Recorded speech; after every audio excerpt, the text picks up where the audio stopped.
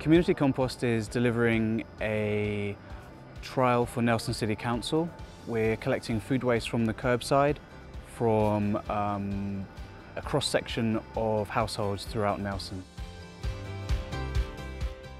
We're collecting any kitchen waste uh, which is made up of vegetable waste, fruit waste, cooked and uncooked, um, including dairy and meat. We weigh every bucket and we measure the volume in each bucket. So uh, we can measure the total amount each week that we collect and then multiply that over months and years so we can get a, a strong picture of what Nelson City is producing as a food waste from households.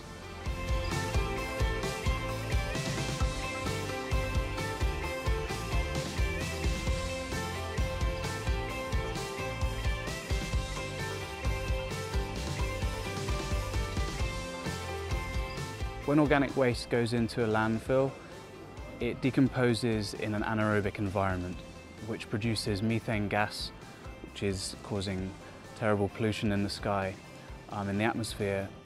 So the way to deal with food waste is to compost it and then we can deliver the nutrients back to the soil instead of methane to the sky.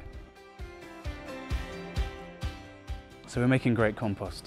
Um, we, we're getting a lot of inputs, uh, mixing it with sawdust, and uh, in about nine months' time, we'll have some amazing compost to give to charity, community groups, and uh, for the community to buy.